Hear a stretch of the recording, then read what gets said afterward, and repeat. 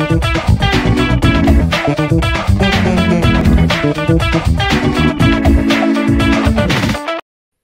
amigos, bienvenidos a Central Rock. El día de hoy vamos a revisar este juego. Érase una vez el juego de cartas narrativo.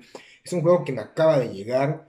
Eh, se ve bastante entretenido. Me encantan los juegos donde tenemos que narrar historias y en este caso tiene una cosa que es entre competitivo y cooperativo porque a final de cuentas la historia la tenemos que tratar de contar lo mejor posible entre todos, pero definitivamente va a ganar aquel que se deshaga de su carta que marca el final de la historia. Entonces están estas dos cosas, ¿no? Tenemos por, por un lado tratar de armar una historia coherente entre todos, pero a la vez trato de terminar con mis cartas y deshacerme de la carta final que indica el final de la historia antes que los demás para poder ganar. Pero a final de cuentas creo que lo más importante de este juego es contar la historia. Vamos a revisar un poquito los elementos que conforman este juego. Primero que nada tenemos las cartas. Es un solo mazo que se va a dividir en dos, digamos, ¿no? Por un lado vamos a dividir el mazo que nos va a marcar los finales de las historias. Este mazo va a marcarse con un montón de frases con las que tienen que concluir las historias. Estas cartas solamente vamos a tener una cada uno de los jugadores. El resto del mazo se conforma de cinco posibilidades distintas de historia, que son elementos que pueden formar parte de la historia. Están elementos que tienen que ver con cosas. Vamos a ver si se alcanza a distinguir aquí. Por ejemplo, este es un árbol, uh, un muro, una ventana, y así vamos a seguir encontrando distintos elementos que tienen que ver con cosas y pueden aparecer en las historias. Otro tipo de cosas que pueden suceder en las historias son eventos, como estos que están aquí. Vamos a ver, el brillo está un poquito difícil para poder distinguirlo, pero son eventos. El tercer elemento que puede surgir en una historia son lugares, como este que nos indica que se trata de un pueblo.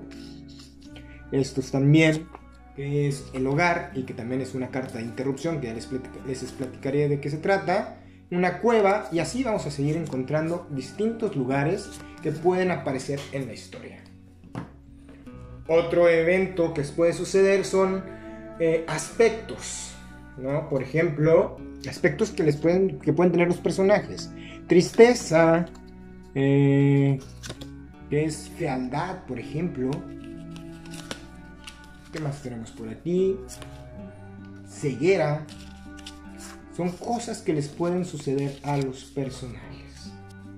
Finalmente tenemos estos que son los personajes. Los personajes que van a ser fundamentales para la historia. Por ejemplo, un hada, un gigante, un lobo. Hasta dónde se ve, ahí se ve un lobito, una rana,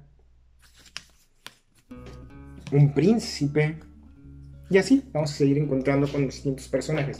Estos son los tipos de cartas que vamos a utilizar para poder contar las historias. Además de que están las cartas de interrupción, que están en cada uno de los distintos elementos que revisamos. Todas tienen cartas de interrupción que precisamente funcionan para poder interrumpir al narrador que está en turno. Pero bueno, ahorita vamos a llegar a ello para poder platicarles de qué va, cómo es que se utiliza esta carta. Para iniciar el juego, entonces lo que vamos a hacer es dividir, como les había dicho, en dos mazos, ¿no? Tenemos el mazo que nos va a marcar los eventos finales y el mazo de que nos va a marcar las historias, que es toda esta mezcla de las cartas que revisamos, las vamos a mezclar, las vamos a dividir entre los jugadores. Son 11 cartas por jugador, menos el número de jugadores que estemos jugando. O sea, entre más jugadores, menos cartas vamos a tener para poder jugar, ¿no? Una vez que hacemos el mazo, digamos que este es el mazo del jugador, que ya lo tenemos, pues va a estar conformado de un sinfín de posibilidades. Como pueden ver, cada una de las cartas tiene un nombre y tiene el tipo de cosa, ¿no? Si era personaje, si era lugar, si era cosa, si era evento, este, aspecto. Entonces nosotros con esas cartas vamos a empezar a jugar. Al primer jugador que comience, que le toque iniciar la historia, puede jugarlas todas si él quiere y si nadie lo para. Sin embargo, él, tiene que ir bajando las cartas conforme las frases o las cosas que van apareciendo en las cartas que él tiene van apareciendo en la historia. Por ejemplo, yo puedo decir, pensemos que esta historia se trata de un niño eh, que le gustaba mucho jugar con las ranas. Y como mi personaje es un niño, yo bajo mi carta y lo que hago es bajarla al centro de la mesa y vamos a tratar de ir formando una línea con las cartas que se vayan bajando. Sean de quien sea, las vamos a tratar de ir formando en línea, no una sobre otra, no es una pila de descarte, vamos a tratar de armar la línea, digamos, de, conceptos o de elementos que van a formar parte de nuestra historia. Entonces yo voy bajando mis cartas, ¿no? Yo digo, ya empecé, esta es la historia de un niño que le gustaba jugar con ranas, eh, sin embargo tenía una madrastra que siempre se siempre agarraba las ranas que el niño tenía para poder comerlas, ¿no? Sin embargo, si en algún momento yo digo una palabra que esté en las cartas del otro jugador, por ejemplo, comerlas, ¿no? Eh, o, cocinar, ¿no? Y entonces en el otro evento, el otro jugador tiene un evento que dice cocinar. Entonces en ese momento él me puede interrumpir y decir, yo continúo la historia, continúa cocinar, porque cocinaba las ranas para que el padre se muriera, porque lo odiaba y quería quedarse con la fortuna de la familia y después poder apoderarse del reino, yo qué sé, ¿no?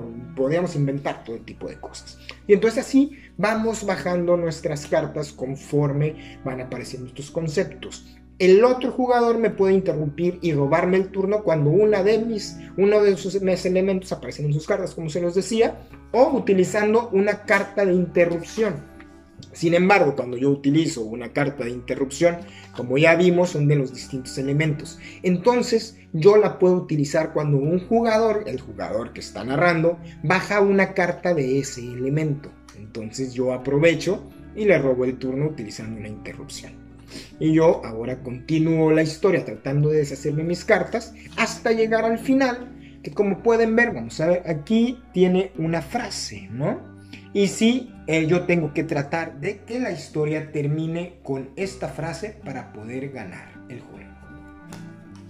Ahora bien, hay algunos elementos importantes a tomar en cuenta. El primer elemento es que si yo en algún momento me trabo o quiero darle turno a los demás, puedo pasar mi turno. En ese momento yo paso mi turno y lo que hago es descartar, puedo descartar una carta. Me voy quedando sin cartas. A diferencia de si alguien me interrumpe, entonces yo lo que hago es robar una carta del mazo central para seguir teniendo más cartas. Esa es una de las cosas.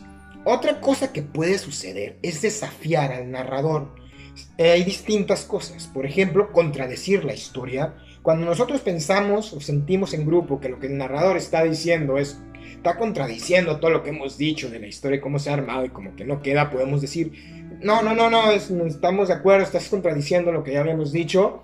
Eh, y entonces se pone a votación. Se levanta la mano y si, la mayoría están de acuerdo, pues se, digamos que se cancela aquello que está diciendo el narrador, pierde su turno y lo va a tomar alguien más. Otra cosa es que pensemos que el narrador esté divagando, ¿no? que esté, ya se fue para el monte, empezó a decir un montón de cosas que no tienen nada que ver con la historia. También podemos hacer eso, podemos eh, interrumpirlo porque a lo mejor pensamos que es una tontería lo que está diciendo y no tiene nada que ver con, con esto que estábamos armando.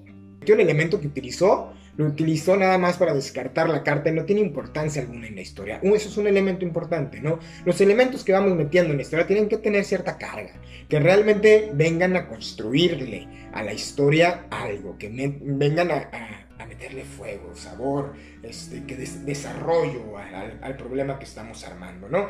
Estas son algunas de las formas que podemos nosotros desafiar al narrador. Obviamente, eh, ahí es donde vamos a, a ver, una vez que desafiamos al narrador, si lo logramos o no lo logramos. Por ejemplo, si yo interrumpo al narrador y lo digo, le digo, ¿sabes qué? Te estoy desafiando, esto creo que no tiene que ver, pero yo pierdo el desafío, o sea, la mayoría estuvieron a favor del narrador, entonces yo voy a tener que descartar una carta con el elemento con el que yo lo estoy desafiando, ¿no? Entonces voy a perder una de mis cartas.